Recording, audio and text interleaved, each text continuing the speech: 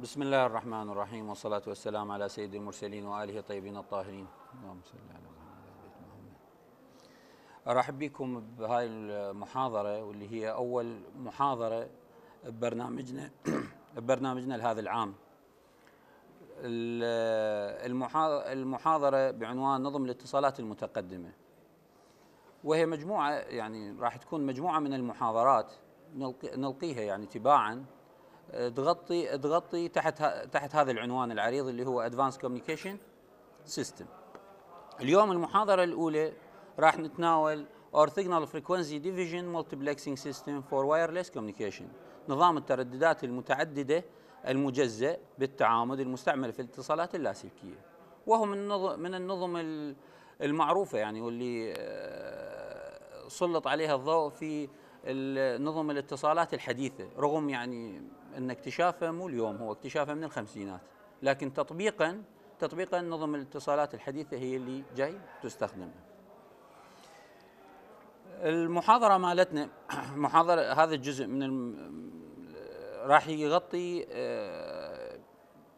OFDM basic concept مفاهيم مفاهيم بال OFDM حتى ندخل إلى نفهم ما هو ال OFDM كنظام. ال advantage مالت هذا النظام أيضا. السيئات ال drawback مالته راح أيضا أيضا نتناولها بالبحث والنقاش. أيضا نتطرق لبعض تطبيقاته في عالم اليوم. أين يستخدم هذا النظام؟ وبالأخير إذا زاد عندنا وقت ما أدري نبقى على الوقت. ممكن أن نشوف ال history of OFDM لأنه كيف تطور. وهي هم قضية قضية مفيدة للباحث أن يعلم كيف تطور هذا العلم. زين. حلم مهندسي الاتصالات منذ الأزل. حلم أن كيف يرسل أكبر كمية من المعلومات. هذا هو الحلم اللي يراودهم. وما التقدم اللي جاي نعيشه الآن إلا بأنه نظم الاتصالات الحديثة تستطيع نقل كميات هائلة من المعلومات. لم تكن سابقا تستطيع أن تقوم بها. يعني أغلب التقنيات اللي جاي نشوفها الآن هي استثمار لهذه الإمكانية اللي انولدت بعالم الاتصالات. ما النت النت باقي النتوركينج ما هي إلا تطبيق لهذا لهذا التقدم اللي جاي نشوفه. زين ما هي العوائق لإرسال هنا طرح سؤال اذا ما هي العوائق لإرسال كمية هائلة من المعلومات على signal على carrier. تعرفون بأن المعلومات من نريد نرسلها يجب أن نرسلها باستخدام نسوي عمليه modulation ل carrier ونرسلها. الآن ما هي العوائق اللي تواجهنا في إرسال هاي الكمية الهائلة من المعلومات على ال carrier؟ إذا كنا نستخدم carrier واحد single carrier channel وحدة راح نتواجه ويا ال response مالت ال channel إحنا ال channel مالتنا ال channel يعني أقصد به الوسط. اللي تنتشر به الاشاره الإشارة المرسلة إلى أن تصل إلى الريسيفر إلى المستلم. الإشارة عندما تنتقل من المرسل إلى المستلم راح تمر بوسط. هذا الوسط قد يكون مختلف ممكن أن يكون في صحراء ممكن أن يكون في داخل مدينة مكتظه ممكن أن يكون داخل داخل بناية جامعة وتعقيدات البناية. كما الآن إحنا في الجامعة هناك channel خاصة تصف تصف الإش... انتقال الإشارة داخل هذه البناية. الآن لكل channel أكو response أكو إلها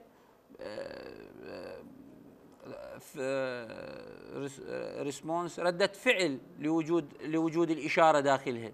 تحاول أن تعارض أو تتداخل مع هذه الإشارة المرسلة. ماذا يحدث عندما أرسل كمية هائلة من المعلومات على single carrier راح راح أتواجه بأن المقاومة الممانعة التي تبديها ال channel راح تكون كبيرة كبيرة جدا على هذه الإشارة بحيث أعجز بالجهة الريسيفر من توصل أعجز في جهة الريسيفر استعادة المعلومات بسبب هذا التداخل. اذا أكو عائق قدامي وهو هذا اللي يبطئ عملية عملية تقدم الاتصالات إنه يعني بالوقت بوقت لحد السبعينات كان أكو عائق يواجهني. يواجهني بأنه أنا من أريد أبدي أرسل الداتا بكمية كبيرة. أتواجه بان ال channel لا تسع لا تتسع لهذا الكمية. سوف تعارضها سوف تتراكب معها. بطريقة لن يصبح بالإمكان استعادة هذه المعلومات بالريسيفر. وشنو الفائده أنا أدز المعلومات وما أقدر أستلمها. وجدوا حل؟ وهذا الحل اقترح بالخمسينات. قال بأنه أنا ما أرسل المعلومات بكارير واحد.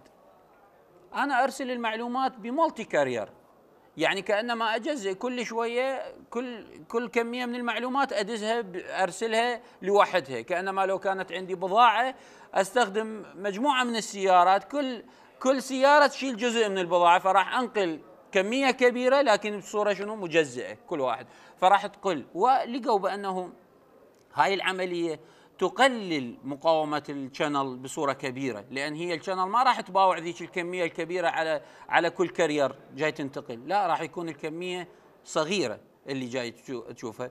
وكل ما زادت عدد ال sub carrier هسه راح نسميه. sub carrier باعتبار إنه أنا عندي multi carrier. فعندي ال carrier الأول والثاني والثالث كل ما زاد عدد ال sub carrier اللي راح أرسل به يعني معناها معناها راح كل ما كانت كمية المعلومات اللي أرسلها بال carrier الواحد أصغر. يعني أنا إذا عندي بضاعة أريد أرسلها بخمس سيارات ونفس البضاعة أرسلها بعشر سيارات أكيد الحمل مال السيارات العشرة راح يكون أصغر من الحمل مال السيارات الخمس. بنفس المفهوم هذا. فإذا عندي عندي كل ما أزيد ال sub ال sub carrier كل ما أزيد ال channel اللي أرسل بها كلما كان كانت المعلومات المحملة على ال carriers تكون أقل. فهذه طريقة لطيفة لكن المعقد الوحيد اللي كان موجود بالخمسينات لهذه الطريقة إنك أنت ما هي مواصفات ال carrier اللي تقدر ترسل بيها وبعدين تستلم بيها بصورة synchronization 100% وبدون تداخل. مو مرة خاف أنت ترسل النوبل carrier ات بيناتهم أذن الحاملات بيناتهم يتداخلن ويسبب لك مشكلة وهذا تصير عندي. انت interference بين channel و channel بين carrier و carrier. وهنا. فطبق النظام بصورة للعسكرية لكن ما قدروا أن يصعدون أكثر من ثمانية channel طبق بالخمسينات وبقى وبقى حبيس إنه ثمانية أربعة channel ستة channel بهالحدود ال range القليل. واللي هو ساعد لحد ما لكن كان مكلف غالي لأنه دوائر دوائر دوائر ال synchronization مالته مكلفة. والحصول على ال orthogonality يعني حصول على التعامد عدم الموثوقية بعدم التداخل كان أيضا مكلف بالنسبة لنا بالدوائر بالبناء مال الدوائر. الان حتى نقرب المفهوم للاو اف دي ام الاو اف دي ام أخذ نفس مفهوم ال multi carrier اللي هو كان قديم بأنه الإشارة مالتي جزئتها إلى هنا بهذا الشكل اللي جاي تشوفونه حضراتكم جزئتها إلى 10 channel كل channel راح يحمل جزء من المعلومات. لكن أباوع بال frequency هذا تطلب من عندي استنزاف لل frequency صار عندي امتداد بالطيف الترددي. كأنما أنا حجزت الترددات المتاحة عندي للإرسال فقط لهذه المعلومات اللي جاي أرسلها. أنت تعرفون هو الطيف الترددي أيضا محجوز. أنت تروح تشتري تشتري التردد مشترى من وزارة الاتصالات. وهذا معروف. أنا أريد أقسم الطيف الترددي أقسمه اقسمه على الهاتف وأريد اقسمه على التلفزيون وأريد اقسمه على الراديو وأريد اقسمه على الاستخدامات استخدام اللاسلكي اللاسلكي بين الشركات. هذن كلهن مواقع محددة. إذا ما معقوله أنا أجي تطبيق واحد أخليه يحتل الطيف التردد كله. أنا دائما عندي هذا محدد. يجب أنه يكون كل ما أقدر أوفر بالطيف الترددي كل ما أفضل. ظهر عندي مفهوم ال OFDM شنو اللي قالوا؟ قالوا يابا ما يخالف. إحنا نستطيع أن نداخل هذه هذه ال channel ات بيناتهم بس اشترطوا شرط. قالوا لكن على شرط أن تكون ال carriers بها خاصية التعامد أو ال orthogonality بحيث إنها لا تحدث تداخل. من اريد أجي أكشف يجب أنه لا يحدث هذا التداخل.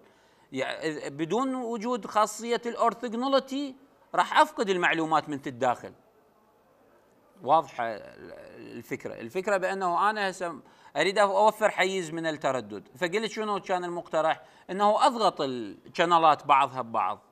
راح إذا ضغطتها راح تتداخل. إذا تداخلت فقدت المعلومات. لا أستطيع مرة ثانية أن أكشفها.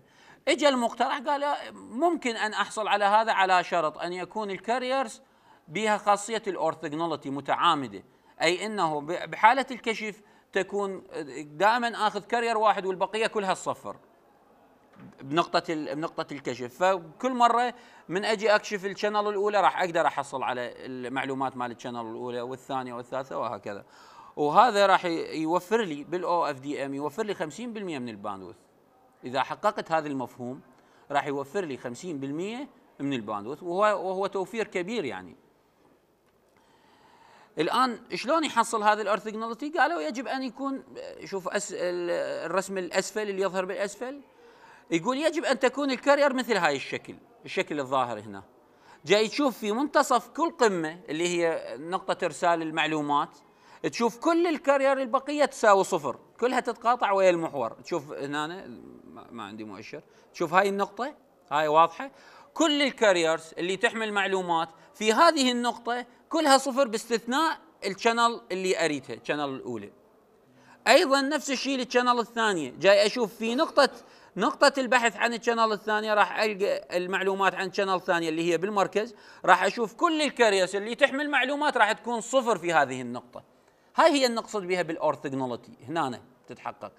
إن كل ال carriers اللي أستخدمها تكون صفر في لحظة الكشف في اللحظة اللي أريد أكشف بها عن ال carrier اللي يحمل المعلومات. في نطاق ال channel اللي جاي أشتغل به كل ال carriers لباقي ال channel يجب أن تكون صفر فتستبعد فما يصير عملية التداخل. طبعا هذا ال orthogonality بال receiver بال transmitter يعني بالمرسلة تحقيقه بسيط. الكلام هل إن ال orthogonality راح تبقى تتحقق بالريسيفر من أستلم المعلومات؟ راح يبقى هذا الشرط موجود لو ما يبقى موجود. هو هنا البحث هنا هنا الصعوبة. أنت أقدر أجيب oscillator ات وأخلي هاي ال oscillator ات تشتغل بطريقة بحيث يكون كل ما أجي للقمة واحد ألقى البقية صفر. لكن هذا بال transmitter من أروح للريسيفر ألقى هذا الحكي ولذلك بقى بقى تعثر نوع من التعثر بالعملية. استمر هذا التعثر. طبعا هذا الصيغة الرياضية اللي تكشف اللي قلناه بأنه سميشن باعتبار أنا عندي multi-channel فكل channel summation لكل channel مضروب ب يعني هاي هي المعلومات ال a sub q مضروبة بالحامل اللي هو هذا الحامل. من أجي أسوي عليه أسوي عملية الكشف؟ راح أشوف ماكو ناتج إلا أن يكون ال carrier بالمستلم بال q هذا يقصد بالمستلم يساوي ال carrier مال فماكو ماكو تداخل بين channel و channel لو كان واضح عندما يكون ال k لا يساوي q يكون هناك تداخل. يعني أكو معلومات من ال carrier q داخلت ويا ال carrier k هذا الصيغة الرياضية اللي قلناها قبل شوية. وعليكم السلام ورحمة الله. الآن الاو اف دي ام موديليشن الاو اف دي ام موديليشن شلون راح يكون عملية ال modulator ال modulator لهذه الإشارة؟ أنا عندي هذه المعلومات مثل ما جاي تشوفونها. راح أبدي أخذ كل symbol من المعلومات. احوله من serial لأن هي جاية المعلومات معلومات صورة مثلا. فاعتيادي من أستلمها راح تكون serial بشكلها بشكلها التوالي. راح أول جزء أقوم به بأن أحولها من ال serial إلى parallel حتى أبدي أشحنها بكل channel على حدة. البضاعة عندي كلها موجودة في غرفة واحدة. أول شيء أسوي قبل أن أحطها بالعربات بالسيارات أو أقسمها إلى مجامع كل مجموعة تروح لمن تروح الوحدة من العربات تنقلها. نفس العملية تصلح أن نقولها هنا. هاي الكمية المعلومات راح أجزئها من serial إلى parallel. كل مجموعة من هاي بعد ما تحولت إلى parallel كل مجموعة راح أحملها على carrier مستقل وأرسلها. فتشوف حولت ال serial المعلومه ال serial data إلى parallel تحولت. طبعا من تحولت إلى parallel إذا كان إذا كان يعني حتى هيك نقول كانت أنا عندي معلومات تستغرق خمسة ثانية. وهي عدد ال sample اللي بيها 100 خلال خمس ثواني هاي المية. فكانت حصة ال sample الوحدة من المية فأنه أقسم الخمس ثواني على المية تطلع هاي النص خمسة على مية خمسة بالمية من الثانية حصة كل sample. الآن من حولتها إلى parallel وافرض أنا حولتها إلى مية مرة ثانية حولتها مية مية متوازية على هذا الفرض. هنا أنا بعد الخمس ثواني كلها راح ياخذها sample واحد. ما أحتاج أقسم بعد إنه لأن كل واحد من هاي ال sample ات كل واحد من ذن المية راح يروح يروح ب carrier فياخذ المدة الزمنية بالكامل إله فهنا قلل قلل ال frequency اللي استخدمها قلل ال sample rate اللي أرسل بيه بعد ما حولت ال data من serial إلى parallel أحملها على carriers.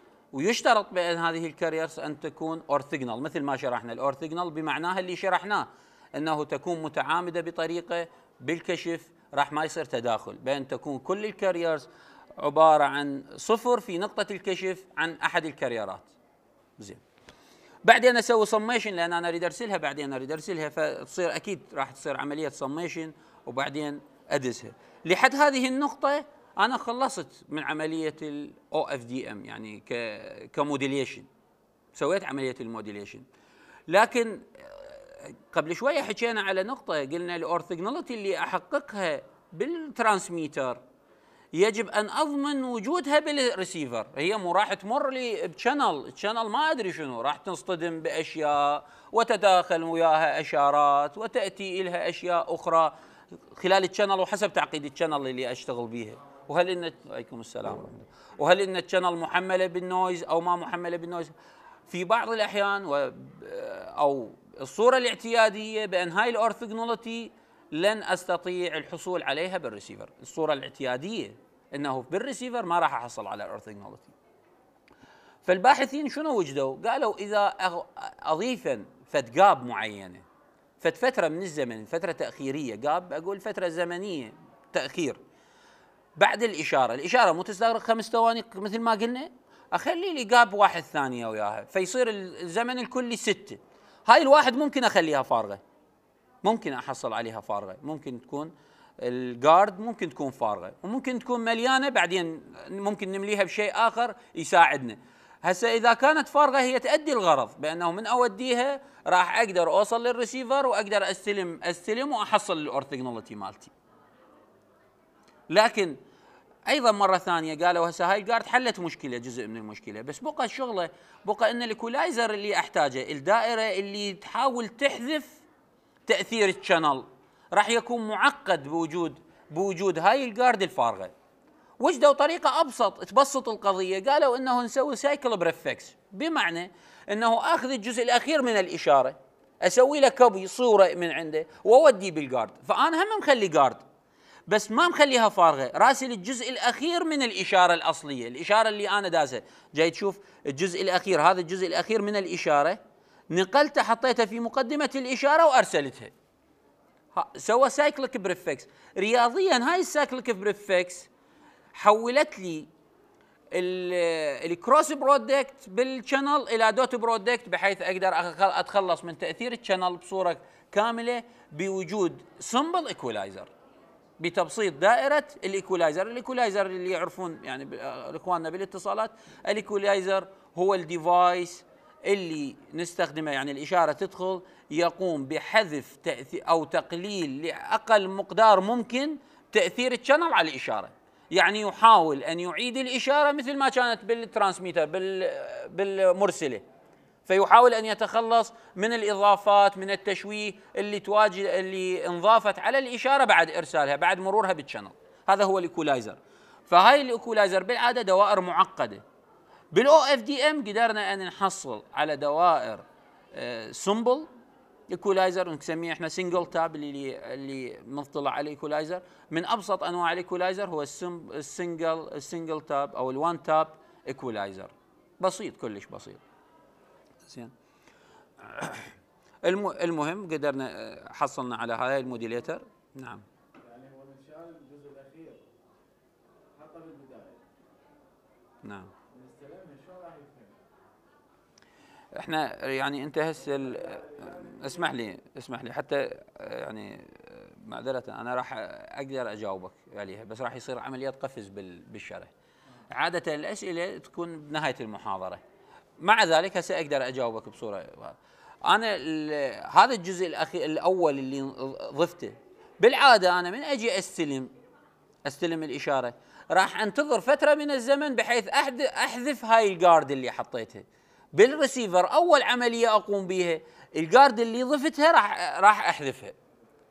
لكن هاي الإضافة من راح تتفاعل؟ يعني قل لي شنو الفائدة اذا أقول الفائدة أنا خليتها حتى من تتفاعل الإشارة مع ال channel يكون أكو فد تاثير معين أقدر أستفيد من هذا التأثير بالريسيفر. وراح نشوفه بال block النهائي. لل device راح نشوف هذه القضية. لكن هسه نستمر بالعرض يعني حتى لا الآن بقت العملية لحد الآن جاي أشرح. جاي أشرح كأنما أكو oscillator مستقل جاي تصير تسوي عملية ال modulation لهاي ال channel كأنما كل وحدة أجيب أجيب أه تعرفون أنتم ال modulation نسوي على sine و cosine signal فكأنما كل وحدة جاي أجيب sine signal وأجي أحمل الإشارة عليها وأرسلها. وهذا الجزء كان معمول به بالخمسينات في نهاية الخمسينات أول جهاز OFDM ظهر للوجود وهو كان بتطبيق عسكري. وأعتقد كان عدد ال channel ات مالته بين 6 إلى 8 channel واكو version 12 channel. يعني هنا مجموعة version ات تعرف مجموعة دول ومجموعة شركات. فأكو أكثر من version اكو أكثر من نسخة لهذا الجهاز فقسم من عندها ستة وقسم ثمانية channel وقسم 12 channel كانت كل كل carrier عبارة عن oscillator مستقل ودائرة معقدة ودوائر ال synchronization حتى أحصل على ال orthogonality على هذا التعامد بين بين oscillator وآخر تكون كلش معقدة يعني حتى إنه تظل تشتغل كانما بصورة متزامنة. استمر هذا الكلام إلى السبعينات. بالسبعينات أحد الأشخاص أحد العلماء وجد قال قال الصيغة الرياضية لهذا الحكي اللي تحكونه ترى هو نفس ال inverse Fourier transform. هذه ال modulator اللي تحكون عنه وال orthogonality اللي تحكون عنه. هاي الصيغة. جاي نشوفها هاي الصيغة. بالضبط هاي الصيغة. قارنها بالصيغة الرياضية لل inverse Fourier transform الموجوده بالرياضيات. لقاها اختها بالضبط. هي هي نفس الصيغة. فقال بعد أنا ليش أجيب modulator مستقل وما أدري أجيب فقط دائرة chip واحد عبارة عن fast Fourier transform وأدخل الإشارة إليه راح هذه ال fast Fourier transform من آخذها للإشارة راح كأنما أنا حملتها على ال multi carrier. ووجدوها فعلا يعني تحققت والآن كل الدوائر اللي جاي نشتغل بيها بال OFDM ترى تستخدم ال inverse fast Fourier transform ك modulator وال fast Fourier transform ك demodulator. صارت صار فصارت عملية فتح في عالم ال OFDM لأنه آه، بهذه التقنية بعد ما صار عندي هم لإجراء synchronization بين oscillator ات مختلفة. ما عندي دوائر, دوائر مزامنة بين هاي ال oscillator ات الآن ما عندي oscillator ات أنا. أنا عندي دائرة chip واحد عبارة عن fast inverse fast Fourier transform يقوم بالعملية ويحقق لي orthogonality فانشال من عندي هم وصار بالإمكان أن أصعد بال بال sub band. وقمنا نشوف يعني حاليا يعني عندنا عندنا بعض التطبيقات بها 8000 sub band. 8000 وشوية. يعني إحنا من جاي نقول كأنما الإشارة مالتي جاي أجزئها ل 8000 أو 4000 أو 2000 و 2000 أو يعني هاي اللي نشتغل بها ال wireless اللي نشتغل بها بالبيت عادة 64 هاي الواي فاي اللي نشتغل بها عادة هي 64 فعملية قفزة صارت عندي بهذا بهذا. وهو فعلا تحركت يعني حركت رجعت ال OFDM لساحة البحث بعد ما غاب يعني. كانوا وصلوا إلى مرحلة قالوا إنه نعوفه لأنه عملية صعبة لكنه رجعته من صارت اقتراح ال inverse Fourier transform رجع إلى ساحة البحث وإن بقى بقى بمشاكل إلى أن تم اقتراح ال guard adding guard وال cyclic prefix في أواسط الثمانينات يلا صارت الانطلاقة الحقيقية لل OFDM. يعني هم ورا السبعينات بقت بحوث وصارت عمليات لكن إلى أن جينا لهاي اللي حكيناها الحكايتين الصغيرة إنه قلنا نضيف guard على مود نحقق ال orthogonality وبعدين قلنا نحط cyclic prefix ناخذ نسخة من الأخير ونحطها بالبداية على مود نحقق نبسط ال equalizer. هذا الحكي صار بنص الثمانينات. فبعد هذا الحكي صارت الانطلاقة صار الانفتاح في عالم ال OFDM ولذلك ظهرت أول التطبيقات في بداية التسعينات لل OFDM تطبيقات عملية بالعالم بالع... بالصورة الحديثة. من بداية التسعينات يلا ظهر ال OFDM ك device حقيقي. بعد غيبته بالخمسينات قلنا بالخمسينات كان أكو تطبيق لكن محدود ويواجه مشاكل. بعدين رجع بالتسعينات لا وانفتح. والآن يعني الآن نتمنى الكل يتمنى قصدي المهندسين والباحثين في مجال مجال الاتصالات الحديثة نتمنى أن نذلل ما بقى من عوائق لاستخدام ال OFDM كنظام نظام modulation ونظام access method ك access method نجيها نجيها بال drawback راح نجي إي راح نجيها مو إحنا راح نتطرق نتطرق لها. ومثل ما شفتوا يعني إحنا المحاضرة هاي هي وحدة من سلسلة محاضرات. يعني مثلا نظم الاتصالات الحديثة ما نقدر نختصرها بمحاضرة واحدة. فراح تكون سلسلة من المحاضرات. اليوم أخذنا تكنيك واحد وهو ال OFDM ك system والتركيز به مو على ك access method وإنما ك modulation technique زين؟ بال بال يعني قد تكون بعد بعد ما يجيني الدور مرة ثانية أن ألقي محاضرة ممكن أن آخذ كاستخدام ال OFDM ك access method من يصير access method لا راح تدخل. وراح تظهر نوع آخر من العوائق ما راح نناقشها اليوم. زين وهي العوائق التحديات الحالية في مجال البحث. يعني أساتذتنا اللي اختصاصهم هذا يريدون يشتغلون. المجال الحيوي لمجال البحث والتطوير هو هنا في استخدام ال OFDM ك access access method إنه شلون أسوي أجي أجي أسوي يعني هسه طول شرحها خلينا نأجلها. نستمر. الآن قلنا قبل شوية قلنا هاي trade-off of size fast Fourier transform إحنا قلنا قبل شوية قلنا من إنه أنتقل من ال serial إلى البارالل راح أحسن أحسن أقدر أدز كمية أكبر من المعلومات. فيجي السؤال هل إنه باستطاعتي أن أنتقل لما لا نهاية من البرر؟ يعني إنه أقدر أسويها طرق متوازية ما لا نهاية مفتوحة؟ يعني كل ما زادت كل ما تحسن الوضع وزادت الكمية اللي أرسلها؟ مبدئيا اي يعني إنه مبدئيا مبدئيا نعم. أنا إذا أرسل إلى ما لا نهاية يعني كأنما كأنما كمية المعلومات في كل carrier راح تصير شبه بالصفر. نظريا هذا الحكي. لكن يجيني عمليا عمليا أكو مشكلة. هل إنه هذا التقسيم راح ممكن بناء عملي؟ أكو دائرة ممكن تحققه؟ ممكن أتجاوز؟ فهناك أكو trade-off يعني أكو مقايضة.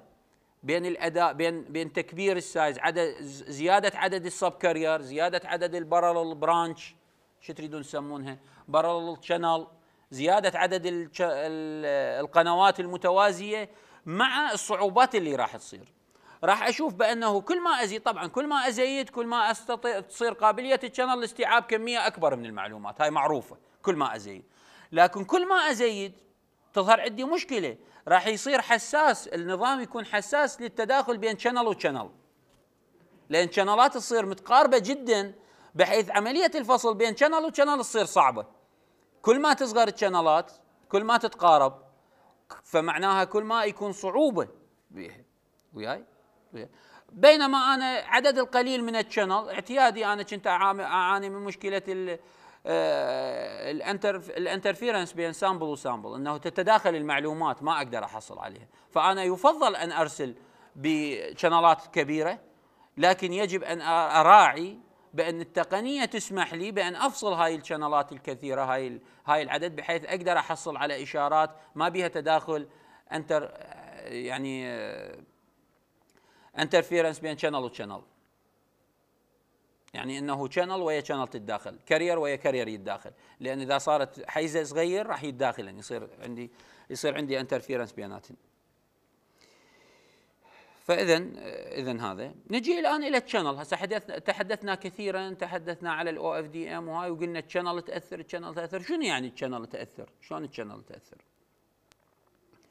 طبعا أنا عندي هاي جاي تشوفون عندي هاي ال transmitter وعندي هاي الريسيفر على فرض وإن كانت كانت بالحقيقة بعد وصول النقال كان كل نقال هو transmitter و receiver فممكن إنه نشوف بالعكس نشوف إنه هذا الشخص اللي بالسيارة بجيبه تليفون هو transmitter هو مرسل وهاي ال sub station اللي هي موجودة هذا الهوائي مال يعني هذا البرج مال الاتصالات هو الريسيفر تكون العملية متعاكسه لكن لتبسيط الشرح راح نفترض بأنه هذا ال transmitter وهنا الريسيفر. جاي نشوف بأن الإشارة بعد ما تنطلق من ال transmitter. راح تسلك بطرق متعددة. هي راح تنتشر ب 360 درجة. فهاي ال 360 درجة عليكم السلام ورحمة الله. فقسم آه، أكو إشارة راح تنتقل line of sight يعني شنو line of sight يعني مباشرة من ال transmitter توصل للريسيفر. تختار أقرب الطرق خط مستقيم ماكو أي عائق يعوقها. ممكن توصل هيك إشارة. فد version. لكن أكو صورة أخرى من الإشارة نفس الإشارة صورة أخرى من الإشارة. قد تروح تتداخل في غابة وتنعكس من الغابة وتوصل للمستلم فتوصل أيضا صورة أخرى ومشوهة وب delay ثاني يختلف لأن المسافة صارت قطعتها أكبر. فصار بها ال attenuation يختلف وال delay مالها أيضا يختلف. ممكن أنه لا تصطدم بالبنايات المختلفة. هو هي مو بناية واحدة حتى تقول أنت تجيني تجيني فقط وحدة. هسه أنا هذا للتبسيط كأنما جاية وحدة مباشرة ووحدة جاية من غابة ووحدة جاية من أحد البنايات. لا بالحقيقة هي قد نقول نقول مئات مئات من من الصور المختلفة لنفس الإشارة توصلني. فهذا كله يزيد عملية لأن أنت بالريسيفر أنا من أجل هوائي يستلم يستلم كل ذني سوا ويجمعهن سوا وتطلع لي الإشارة مجموعة سوا ذني. يعني الصورة الأولى والصورة الثانية والصورة الثالثة هسه أنت حتى أقرب الصورة لكم خلينا نفترض إحنا جاي نحكي على صورة صورة فوتوغرافية الشخص. واضحة. الآن هاي الصورة راح نطبع فوقها نفس هاي الصورة. فد 100 صورة نفس الصورة أختها. لكن كل شوية مزحفينها بمقدار ومرة مزحفينها لليمين مرة مزحفينها لليسار مرة مزحفينها للأعلى مرة للأسفل مرة بزاوية 45 100 صورة بنفس المكان جاي تنطبع وحدة فوق الثانية وبيناتهم شفت. والشفت عشوائي. تتصور هاي ال 100 صورة من طبعا كلهن سوا راح تقدر تميز ملامح الشخص الأصلية؟ ما ما تقدر.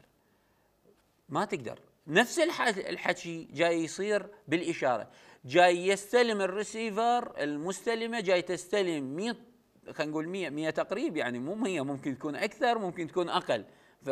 جاي تستلم صور مشوهة كثيرة لنفس الإشارة وتنجمع سوية.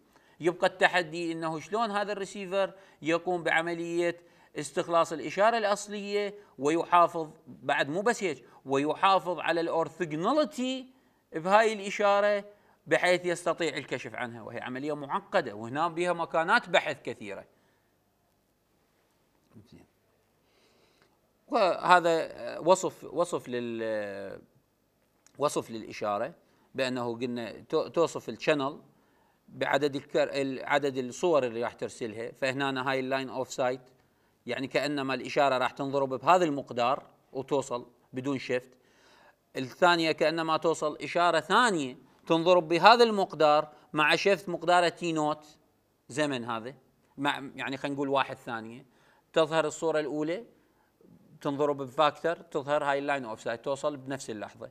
وحدة ورا ثانية توصل version أخرى مضروبة مثلا ب attenuation مختلف وتصل بعد ثانية.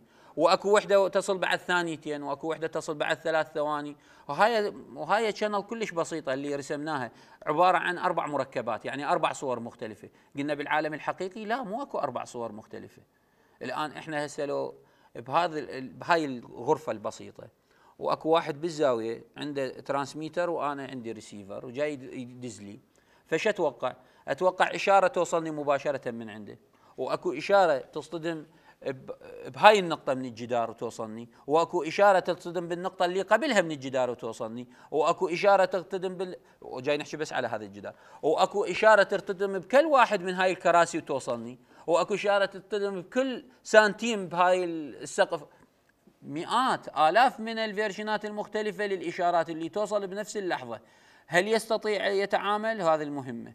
قلنا ذللوا هاي هاي القضية بقضيتين. الأولى حافظوا بها على ال orthogonality بأن ضافوا cycle بأن ضافوا guard الثانية بسطوا عملية حذف تأثير. هذا التأثير اللي خلفته ال multipath حذف تأثيره بأن ضافوا ال cyclic prefix تفصيلا ما نريد ندخل بها لأن صفة المختصين وإحنا المحاضرة عامة لأنه الطيف الحضور من اختصاصات متعددة. فتكون يجب أن تكون عامة ما تروح تذهب تذهب زايد بالتخصص. قلنا هاي جاي تشوف هاي ال guard اللي ضاف ضاف guard guard فارغة ضاف هو. لكن هاي ال guard الفارغة سمحت. سمحت إنه آه، شوف الذيول خلينا نسميها هيك. الذيول للإشارات المختلفة أن توصل للريسيفر بحيث صارت إن آه، حققنا ال orthogonality لأن كل ال version ات كل ال signal اللي إجتني من مختلف ال multipath من مختلف الاتجاهات كلها وصلت للريسيفر كلها صارت موجودة. من صارت كلها موجودة صارت حققت ال orthogonality إذا انبترت قسم منعتها قبل كان قبل لا نضيف ال guard قسم منعتها بعد ما يوصل وهو يقرر الريسيفر يا أنا وصلت الإشارة. يا بق مو بكيفه قسم منه ما وصل. فال orthogonality تنفقد. من ضفنا هاي ال guard هاي المسافة الحيز من الزمني اللي ما ندز به إشارة مكنا ذيول الإشارات المختلفة الصور المختلفة أن توصل. إذا وصلت كلها معناها إحنا حققنا ال orthogonality بس بقى تحدي قدامنا. ال equalizer اللي يجب أن نستخدمه راح يكون معقد لأنه ما سويت معالجة حقيقية ما سويت في التكنيك ما كيفت الإشارة بحيث تقلل من هذا التأثير هذا التداخل. ال cyclic prefix لا إنه قال أنا مقدما آخذ آخذ الجزء الأخير من الإشارة وين أدزه؟ ما أخلي guard فارغة لا أخلي أودي بيها معلومات الجزء الأخير من الإشارة نهاية المعلومات أدزها بالبداية. فأسوي الإشارة كأنما cycle cycle يعني كأنما دائرة. الذيل مالها يجي للبداية مالتها. هذا شو قلنا هذا اللي سووه يبسط لي من ال equalizer من تعقيد ال equalizer. طبعا يبقى شرط حتى نقول يعني حتى نمضي بهذا الشيء هناك شرط حتى يتحقق هذا التبسيط أو حتى نحصل على هاي ال orthogonality يجب أن تكون ال guard اللي أخذناها يجب أن تكون أكبر من أكبر delay متوقع. يعني أنا مو راح توصلني version ات متعددة من الإشارة. وحدة توصلني ورا ثانية وحدة توصلني ورا ثانيتين آخر وحدة توصلني ورا إيش قد؟ ورا خمس ثواني. يجب أن أخلي ال guard أكبر من هاي الخمس ثواني. أكبر delay أكبر تأخير. هذا شرط ضروري. إذا انفقد هذا الشرط فقدت ال orthogonality واضح واضحة هسه هاي النقطة. فهذا شرط حتى أحصل على ال orthogonality نفس الحكي اللي قلناه هنا في في التصوير. جاي ناخذ ناخذ الجزء الجزء الأخير من ال من ال sample. بعدين أوديها. وعندنا نفس الحكي اللي حكيناه. هسه الآن بعد ما قسمت الإشارة إلى sub carrier شلون راح يصير تفاعلها ويا ال channels جاي تشوف هذا هو هذا هو ال response مال ال channel من راح تنضرب ويا هاي ال carriers راح تشوف كل carriers ممكن أن ينزل الجيم مالته زين؟ لكن كأنما ينضرب ب scalar كأنما ينضرب يعني ب attenuation معين. ينضرب point 1 point 2 point 3 هذا ما يسبب لي مشكلة. ممكن أنا أسوي فد دائرة أشبه بال amplification أعوض هذا. كانت مشكلتي وين؟ كانت مشكلتي نفس ال carrier تتغير ال amplitude مالت ال channel. الآن ما راح تظهر عندي. هسه أنا لو هاي الإشارة تصور بأن ذني كلهن وديتهن بإشارة واحدة من البداية للنهاية كانت كلها إشارة واحدة إيش راح يكون؟ راح يكون ال amplitude مالت ال channel نفسها هي ال channel نفس المعلومات راح تعاني من attenuation مختلف على طول الزمن. وهذا راح يسبب لي صعوبة في استلام الإشارة. فأنا من سويت multi carrier تخلصت من هاي القضية. ولذلك راح يكون ال equalizer بهيك نوع باستخدام ال OFDM راح أحصل على equalizer بسيط نسبيا. أقدر أحذف تأثير الإشارة. ما أدري أنا الوقت ما حد يراقبه. زين خاف أخذت وقت زايد. نكمل ما دام آه الآن الآن يأتي من ضمن التقنيات اللي موجودة بال OFDM أنا أحتاج بالريسيفر قلنا نحتاج أن نحذف تأثير منه. تأثير ال channel زين شلون أحذف تأثير ال channel يعني شلون أخلي الريسيفر يخمن شنو تحذيف تأثير ال channel حتى يحذفه؟ يعني لازم هي هسه أنت أقول لك أقول لك أنت احذف لي احذف لي فلان قضية. غير أعطيك معالم عنها حتى تعرفها. مثلا أعطيك صورة واقول لك يابا بيها اللون الأحمر زايد. فأنت راسا بالكمبيوتر تسوي عملية تقليص للون الأحمر تحصل على المعلومات اللي إذا أعطيك الصورة بمشوهة وما أقول لك معلومة عنها أو مرات يعني هسه اللون الأحمر تقول أشوفه بالعين لا مرات أكثر من لون. أقول لك ترى هاي الصورة بيها لونين بيها الأحمر والأخضر بهالقد نسبة زايد. فأنت بالكمبيوتر تقدر تصحح النتيجة. تقلل هذين اللونين ترجع لك المعلومات دقيقة. هنا أعطيتك معلومة إضافية ساعدتك في الحصول على المعلومة. الآن أنا عندي ريسيفر موجود في أقصى الأرض. وعندي transmitter موجودة بمكانين مختلفة. وبيناتهم channel ما يعرفونها. شلون أخلي الريسيفر يخمن ال channel إيش سوت بالإشارة؟ هو ما يعرف الإشارة الأصلية. شلون يخمن شنو صار بالإشارة؟ واضحة هسه الفكرة. فهنا نستخدم نسميه pilot إن نودي نودي إشارات معروفة للريسيفر يا أقول لك أنا باللحظة الفلانية. راح أودي لك 5 فولت للريسيفر. فهو ينتظر اللحظة الفلانية يجي ياخذ الفولتيه يقيسها باوع لقاها ثلاثة. قال اذا هاي ناقص منها 2 فولت. فإنه المفروض أنا شو أسوي؟ أضيف أضرب أضرب بمقدار بحيث أرجعها خمسة. فقدر يعني قدر أن يخمن شلون يتخلص من تأثير ال channel؟ لو ما قدر قدر. هذا ببساطة هو هذا اللي يسويه آه، عملية إضافة إشارات نسميها pilot pilot sample للإشارة. إنه اضيف مجموعة من الإشارات معلومة للريسيفر متفق عليه بين ال receiver وال transmitter. إحنا متفقين أنا راح أدز لك إشارة. لكن باللحظة الفلانية واللحظة الفلانية واللحظة الف... لحظات أنا محدد لك إياهن. بهذين اللحظات راح تكون هناك pilot. هاي ال pilot معروفة بالنسبة لك كمقدار وكشكل. يا ترى هاي هيك مواصفاتها فهو راح يستلم راح يخمن. من خلال هاي راح يخمن؟ راح يخمن سلوك ال channel طبعا هسه واحد يقول لي يقول لي غير بين pilot و pilot ممكن تتغير channel ممكن تتغير. كانت سياره واقفة ووخرت السيارة بهاي اللحظة. صح؟ ال channel شنو إحنا ال channel إحنا مو مو قلنا هي ال channel عبارة عن الإشارة اللي واصله ب multipath أكو شخص كان واقف هنا تصطدم به الإشارة ويجيني. بهاي اللحظة وخر أو قعد. بعد هاي الإشارة ما راح تجيني. ال channel الكلية اختلفت معناها. واضح هاي الفكرة؟ فممكن فبقى صار أكو تحدي قدام الباحثين. هاي الإشارات المرجعية نسميها. وين أحطها بالإشارة حتى تعطيني أفضل أداء؟ مثلا أحطها بصورة طولية أحطها ببداية كل sample أحطها كل كل خمس سامبلات أودي كل كل خمس عينات أودي وحدة. أوديها بشكل فكان بحوث كثيرة كثيرة وطويلة بهذا الجانب. وهو أيضا ما يزال يعني ما واصلين لل optimum pattern. يعني ما واصلين نقول نقول هذا هذه الحالة المثلى لإرسال ال pilot. نعم هسه إحنا كل ما جاي نطور وممكن نحطها. مثلا شوف هنا بال sample الأولى وداها باللحظة الثانية وباللحظة الخامسة. باللي وراها وداها بالأولى والرابعة.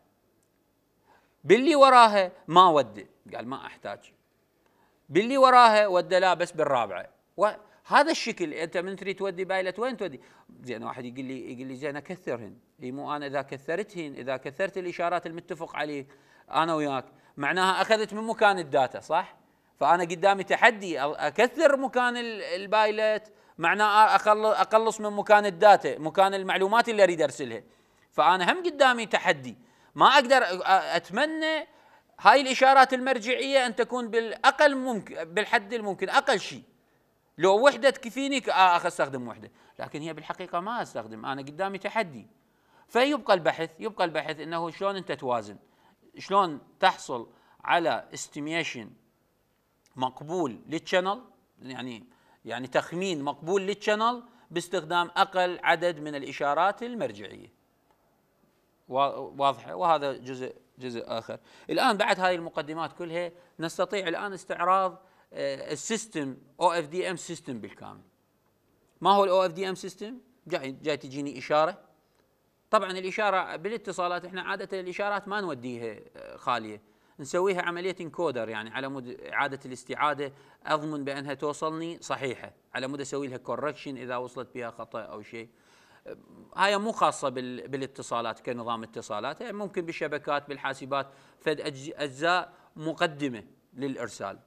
إلى أن وصلت بعدين interleaver يعني هم ابدلهن ما أخلي كل كل sample بمكان واحد. هم هاي عملية أخرى. وهم مو قلت لك مو خاصة بنظام ال OFD موجودة بأي نظام اتصالات نسويها نلجا لها الآن نظام الاتصالات هذا الجزء الأسود اللي جاي يبين ال OFDM جاي إنه أول مرة أجي ال sample مالتي أسوي له mapping أحوله إلى إلى modulation معين مثل كوادرتشر كيو اس كي بي اس كي ايا كان واحدة من هاي الطرق. بعدين أحوله من par من serial إلى parallel مثل ما شرحنا.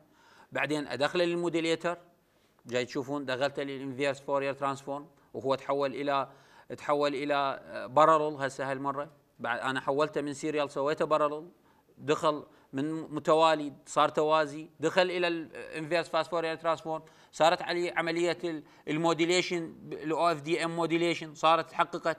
هالمرة أرجع أحوله لأن أنا أريد ارسله لازم ارسله ك signal وحدة. أرجع مرة ثانية أحوله. زين قبل لا أحوله حطيت ال guard ضفت ال guard ورا ما ضفت الجارد هسه أحول. تحول إلى serial بعد ما تحول شو سويت هسه؟ وديته. دخل ال channel انضافت له noise هذا هذا صار بالفضاء الخارجي مو أنا ضفت له لا هو من أرسلته لحد ما يوصل راح يمر ب channel يتعرض يتعرض لانعكاسات متعددة تنضاف له noise وضوضاء ضوضاء من مختلف المصادر منها ال white Gaussian noise وغيرها لأن هو يمر بوسط active يعني ممكن يمر جانب معمل ممكن يمر بجانب آه، محطة إرسال آه، تلفزيوني محطة إرسال آه، يعني الإشارة ممكن تمر بأي مكان. فتج ال noise ما تكون واضحة المعالم. noise noise إضافية تظهر لي. بالريسيفر راح أعكس كل العمليات. جاي تشوف هو وصل لي serial أحوله من serial إلى parallel مرة ثانية. ال guard اللي ضفتها أحذفها. ضفنا guard cyclic prefix حذفتها بعد ما حذفت ال guard دخلته لل modulator ال demodulator حولته من باستخدام ال fast Fourier transform بعدين هنا هاي عملية ال channel estimation أبدي أحاول أسوي channel estimation و equalization لل channel مو بس channel estimation channel estimation يعني اخمن ال channel وبعدين أحذف تأثيرها باستخدام equalizer زين؟ ادخلها ال channel estimation احذف أحذف تأثير ال channel بعدين أغيرها من parallel اللي أنا عالجت به إلى serial رجعت لي شوف الإشارة اللي رسلتها رجعت لي وديت غيرت ال demapping رجعت لي الإشارة دزيتها هنا رجعت هنا. هذا هو نظام ال OFDM بصورة عامة. الآن شنو ال advantage مالته؟ يعني أول advantage إحنا قلنا قلنا بأنه أنا راح أوزع ال channel ال wide اللي بيها معلومات كبيرة وراح تقاومها ال channel راح أودي أوديها بطريق subcarrier صغيره تكون تكون مقاومة التأثير ال channel عليها قليل. هو هذا ال advantage الرئيسي الموجود بال OFDM واللي يخلينا نروح له. لو ما هاي ال advantage ما رحنا له. بالمن أروح له أنا؟ أنا أروح له أريد أتخلص من تأثير ال channel اللي جاي تقاوم إرسال البيانات بكميات كبيرة. زين. بعد شنو؟ ببساطة ممكن أن ابني ببساطة ال OFDM. بعد شنو ميزته؟ ميزته أنه ال modulator ماله و demodulator كلش بسيط اللي هو fast Fourier transform وال inverse fast Fourier transform وهو chip بسيط الصناعه بسهولة ورخيص. ولذلك هذا يفسر بأنه الآن أدوات الاتصالات آه، الأجهزة الاتصالات بدأت ترخص وصارت بمتناول اليد. يعني هسه صار كل واحد من عندنا ببيته شبكة واي فاي يستخدمها. لو كان لو كان هذا الحكي بدون استخدام ال OFDM واحد هذا يكون بالمؤسسات الكبيرة جدا. يعني الجامعة ما كانت عندنا. بالسبعينات بالثمانينات ما كان عندنا. بالجامعة ما كان عندنا هيك نظام لأنه غالي. أما الآن بسبب بسبب وجود ال fast Fourier transform inverse fast Fourier transform ك modulator modulation technique صارت سهلة رخيصة. عمليات البناء صارت رخيصة.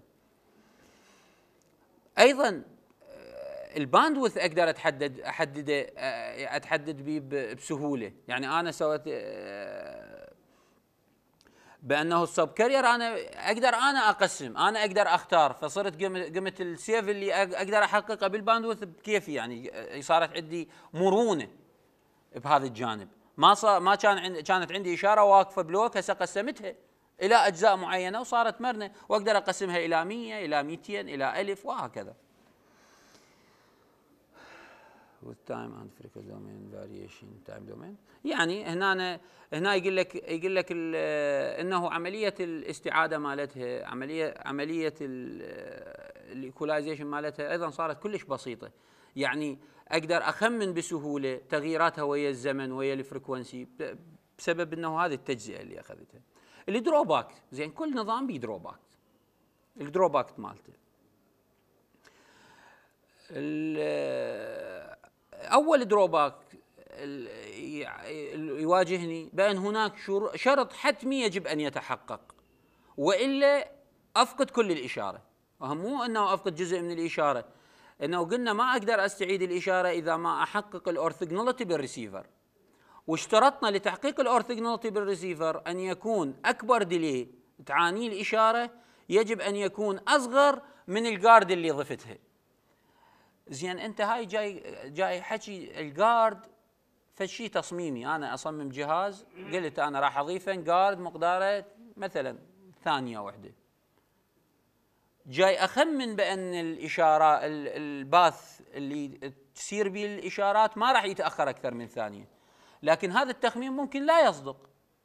ما دام أنت تقول تخمين ممكن أن يصدق. هسه يصدق 90% أكو 10% ما يصدق. ممكن أنه وحدة من هاي الإشارات واحدة فيرجن واحد من هاي الإشارات تتأخر عن الحد اللي حطيته. إذا تأخرت عن هذا الحد اللي خليته خسرت الإشارة بالكامل.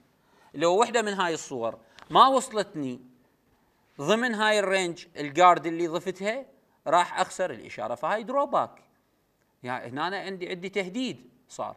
إنه عندي إما شنو الأعمل؟ إما أن أخلي زمن كلش زايد. زمن كلش زايد معناه أن أخسر شيء من ال bandwidth بال guard مالتي. ال guard مالتي أنا يجوز أحتاج خمسة ثانية. أقول لا أنا حتى أضمن خاف للطوارئ. خلي اخلي 10 ثانية. أصير بال safety side إي ممكن. بس هاي العشرة ثانية ضفتها اكو خمسة منها كان ممكن تستغلها بإرسال معلومات. الآن خليتها أنت guard فأنت يكون المفروض تحدد تكون عندك القدرة على التحديد بالضبط. أنا إيش قد أحتاج اضحي من ال bandwidth؟ صح؟ هو هذا هذا التحدي الأول ال drawback الأول. أيضا التحدي الآخر جاي تشوف بأنه أنا أحتاج block processing أنا من أجي أوديهن بصوره متو... توازي. فيجب أن العمليات مثل ما سويتهن توازي يكون بالجانب بالريسيفر أيضا أجريها بنفس بنفس اللحظات تكون تكون تكون نسميها block processing يعني أسويها ك block معناها ما أسوي أعالج كل carrier بوحده. كل إشارة بوحدها أعالجها. لازم أعالج كل اللي أرسلتهن. ال 64 أو ال 2000 أو ال 4000 أو ال 8000 إيش قد أرسل ال subcarrier كلهن اعالجهن بنفس بنفس الوقت. فهذه شو تعطيني؟ تعطيني إنه تعطيني عائق بأن أنا أكو بعض الكاريرات توصلني باللحظه بالثانية رقم واحد. وأكو carrier يوصلني بعد ثلاث ثواني. معناه أنا أبو ثانية واحد لازم اكظه وأظل متاني إلى أن يوصل ذاك أبو ثلاث ثواني يلا أقدر أشتغل. يلا أقدر أطلع المعلومات. ما أقدر أكشف عن كل channel بوحدها فهذا يقول هذا عيب. عيب إنه يعني واحدة من عيوب هذا إنه أضطر للعمل ب block processing انه اخذ المعلومات ك block. وهذا العائق العائق انه بعض ال channelات تكون سريعة والبعض الآخر تكون بطيئة. فانا اضطر لأن انتظر البطيء ان يوصل. يلا اعالجه. ما أقدر اغير اغيرها. فايضا هذا يعني وهذا عيب يعني تكويني. هي هو شكل ال OFDM هيك ما أقدر أتخلص منه. هو شكله إنه أحولها من serial إلى parallel صارت parallel لازم أتعامل وياها parallel لازم أبقى هناك أنتظر تتكامل كلها. يلا اشتغلوا وياها. زين. هذا يبقى عيب تكويني بال OFDM ما ممكن تغير به يعني عيب أنا قابله يعني مثل ما أقول ال advantage مالته مغطيه على هذا. هو بي زين وشين آخذه. يعني مثل تقول سيارة. أنت سيارة هاي زينة لكن سعرها غالي. أنت محتاج هذه الأداة تضحي بالفلوس. مو ما ما صار ما صار الغلا ميزة. يبقى عيب دائما عيب لكنه أنا محتاج الأداء مالته فمضطر أضحي أقبل بهذا العيب أقبل بدفع السعر وإلا الصينيات إيش بيهن؟ زين. المهم.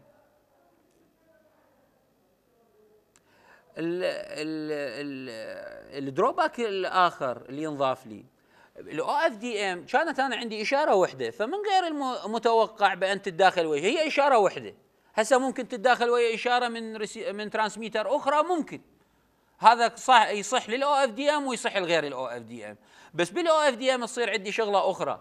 الإشارة الوحدة راح أحملها على carrierات متعددة وأرسلها. فراح يظهر عندي inter-channel interference يعني ال channelات بيناتها ممكن تتداخل.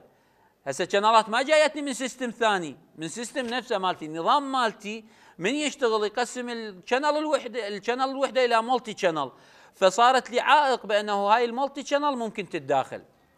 فهذا هم أيضا drawback يعني يمكن العمل عليه أنه يزداد وضوح ال drawback هذا. يعني هذه السيئه تزداد وضوح كلما زاد عدد ال subcarrier كل ما زادت صار ال subcarrier أقل ال bandwidth مالته أقل. كل ما زغرت ممكن أن تتداخل بيناتها مثل ما قلنا ببدايه المحاضرة. كل ما زغرت ال subcarrier ممكن أن تتداخل. فهذا أيضا عيب آخر. أيضا أكو عيوب تقليدية موجودة بال بال OFDM اللي هي مثلا peak to average power ratio. peak to average power ratio. الميزة يعني أكو فرق كبير بين ال peak وال average. أكو نقاط محددة بالإشارة. تكون peak مثلا فد 10 فولت. أنا يعني جاي أقرب القيم مو حقيقة ولا هي القيم الإشارة إحنا بالإتصالات. نتعامل دائما بال nano وال micro ما عندنا حتى ملي. الإشارات مالتنا نستلمها بالنانو مرات بال pico يعني 10 أس ناقص بس لا إحنا حتى تقريب للأذهان. فاقول مثلا إنه إجتني فد إشارة معينة بيها قمة 10 فولت. لكن ال average value على العموم هو 1 فولت. إيش قد واسع فرق. ال peak مالته 10 لكن ال average أغلب الإشارة هي واقعة ضمن range 1 فولت. هاي هي ال peak to average شنو مشكلتها هاي؟ شنو المشكلة اللي تواجهها بدوائر؟ المشكلة اللي نواجهها بال amplifier مال ال output ال front بال output بآخر stage أريد أكبر الإشارة. فأنا من أريد أكبر الإشارة؟ يجب أن يكون ال amplifier linear يعني ما معقولة أجيب لي amplifier يضرب لي يضرب لي جزء من الإشارة بخمسة و amplifier يضرب لي جزء من الإشارة بثلاثة. راح هو يشوه الإشارة. الإشارة حتى تبقى محافظة يجب أن يكون ال amplification اللي يتم عليها يجب أن يكون linear زين إذا أنت عندك عندك ال range من 10 فولت ل 1 فولت فمعناه يجب أن يكون نسميه dynamic range لل amplifier يجب أن يكون كبير. كل ما زاد ال dynamic range لل amplifier كل ما زاد تعقيد صناعة ال amplifier وغلى سعره. فليش هذا عيب؟ ليش نقول ال peak to average power ratio عيب موجود بال OFDM جاي تشوف الإشارة راح أرجع لكم كم كم slide للأخ للخلف. بالعكس أنا مشيت.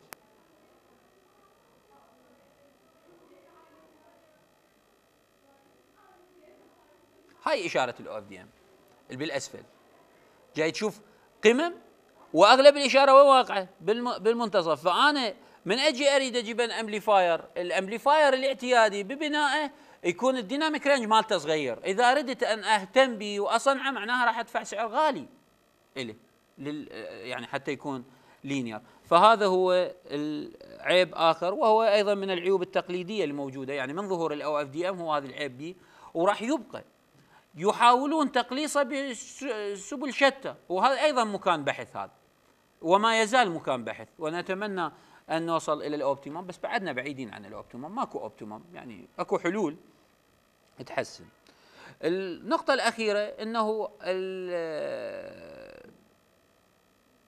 ال OFDM ممكن أن نستخدمه multiple access OFDM لكن هذا بعوائق وقلنا هذا خارج نطاق محاضرتنا اليوم. يعني هسه إحنا هذا بمحاضرة لاحقة إن شاء الله راح نتناوله بصورة تفصيلية ال multiple استخدام ال OFDM ك multiple access إن شاء الله بالمستقبل. أظن إني نقدر نعوفن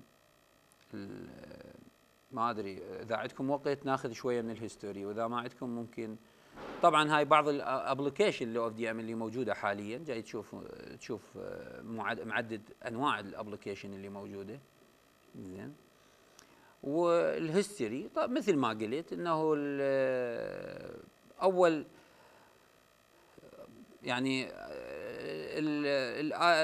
أول تطبيق كان في الخمسينات يعني لل OFDM. لكن الظهور الحقيقي له ك system وبدا تتداول وما أدري شنو بدأ بالستينات منتصف الستينات. وظهر ظهر لنا التطبير إحنا حكينا شوية. ظهر إنه استخدام ال discrete Fourier transform ك modulation بال 71 وكان هذا تطور كبير. ولكن بقى عائق عائق ال orthogonality بقى عائق قدامنا باستخدامه باستخدامه بالإتصالات الحديثة. استمر هذا إلى بعد الثمانينات في منتصف الثمانينات تقريبا بداية الثمانينات 83 82 ما أتذكر. 84 إجت هي البحوث من وراء الثمانين إلى منتصف الثمانينات. وصلوا إلى إضافة ال guard واضافه ال cyclic prefix اللي قدرنا أن نتخلص من مشكلة ال orthogonality بال receiver. وهذا فبدأ تقريبا البداية الحقيقية. كتطبيقات لل OFDM بدأت بالتسعينات واستمرت لليوم. هذا يعني بصورة إجمالية يعني هاي النقاط الرئيسية وشكرا جزيلا. إذا أكو أسئلة بالخدمة.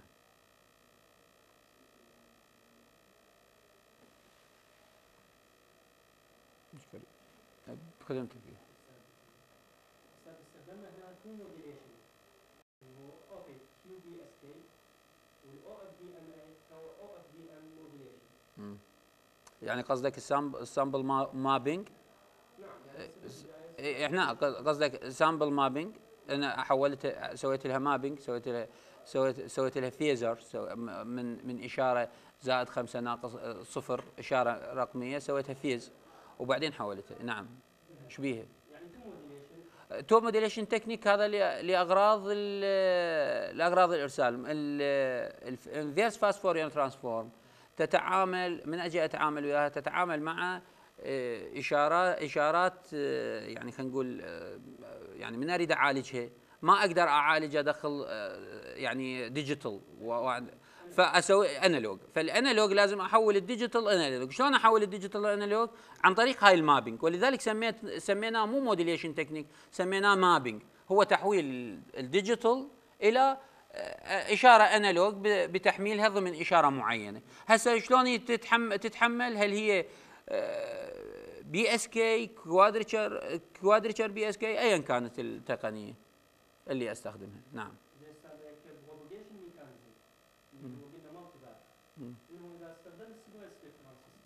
نعم. يصير انه هذا ال propagation هو mechanism طبعا موجود هذا ممكن استخدامه. يعني يعني قصدي مو إحنا هسه أنت دخلتنا دخلتنا بعالم آخر بالاتصالات. إحنا جاي نشتغل على ال OFDM هسه بقى بقى من أوصل بالتر... بالتر... بالمرحلة الأخيرة بعد ما حملت الآن حملت الإشارة مالتي OFDM شلون أرسلها؟ هل أرسلها ب single carrier وانتهى؟ أو أرسلها باستخدام ال spread spread spectrum؟ شلون أرسلها؟ هاي تقنيات وكل وحدة بها إيجابيات. نطب access method والها تطبيقات قلنا. وهذا ما متعلقة بمحاضرة اليوم يعني. يعني هو إن شاء الله بالمحاضرات الجايه الجاية راح تكون تكون ضمن نظام. السؤال الاخير هو مو سؤال؟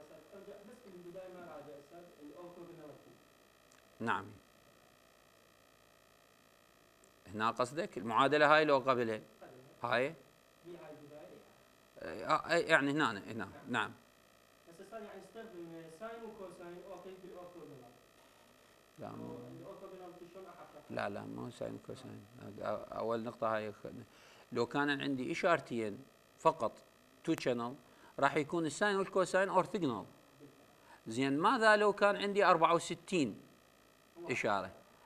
شلون أحقق ال orthogonality ما راح تكون sine و cosine راح تكون اذا إشارات بأطوار هي كلها sine خلينا نقول هي sine wave أكيد بأطوار مختلفة. زين شلون تتحقق؟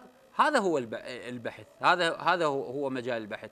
اللي يحققها اللي يحققها استخدام ال fast Fourier transform فإن تشوف الأولى راح تكون عبارة عن يعني هسه لو أجي اباوعلها مثلا خلي أفترض هن ثمانيه راح أشوف الأولى بزاوية صفر الثانية بزاوية واحد على ثمانية. الثالثة اثنين على ثمانية. الزاوية مالتها. وهكذا إلى أن أوصل سبعة على ثمانية سويت حلقة كاملة. جزأت نفس ال 360 جزأتها على عدد ال subcarrier. وإلا أنا شلون عندي؟ إذا عندي sine و cosine عندي معناها فقط إشارتين two carrier. هذا الحكي كلام صحيح لل two carrier لل two channel بس ما نستخدم ال two channel هنا multi channel وتتحقق آليا هذه هاي هاي التوزيعات باستخدام ال inverse fast Fourier transform ما راح تدوخ بها أنت.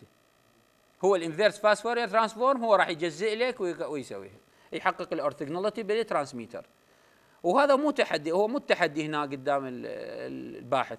الباحث التحدي قدامه كيف يحقق ال orthogonality بال receiver. بعد ما تعاني الإشارة ما تعاني. متعاني من تأثيرات ال channel المختلفة من ال noise المختلفة من شلون أحقق ال orthogonality شلون أحافظ عليها؟ وهناك التحدي. هذا واحد من الحلول. مو أنت نتمنى إحنا يجينا واحد من من العلماء ومو بعيدة. أن يقول يابا أنتم صح مشيتوا بال cyclic prefix هاي اللي جاي تلغي لي إياها. أنا راح أحصل ال orthogonality بدون استخدام ال cyclic prefix ب technique آخر. هسه شنو؟ ما معروف. أنا ما أعرفه لأن هو ما معروف أصلا. بس أقول إحنا لا نخلي نفسنا بأنه هاي, هاي تقنية لحذف يعني هيك نفهمها. إن ال cyclic prefix هاي ال guard اللي حطيناها هي تقنية لحذف آه، لتحقيق ال orthogonality بال receiver الآن أقدر أجيب تقنيه أخرى بدون cyclic prefix؟ طبعا أفضل لأنه راح أوفر على نفسي حيز من الزمن حيز من ال bandwidth. أنا جاي أخسره بال cyclic prefix. شكرا جزيلا شكرا جزيلا.